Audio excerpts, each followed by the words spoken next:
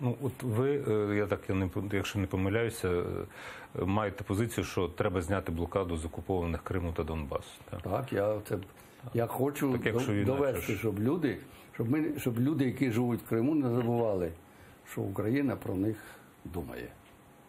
Ну, Україна чи думала раніше про людей? Ну зараз це особливий період. Вона раніше не було анексія, зараз анексія. І я хочу наголосити на цьому, що оскільки ми ведемо економічні, торгово-економічні відносини з іншими регіонами Росії, то чому виділяємо з цих регіонів свою територію і громадян України?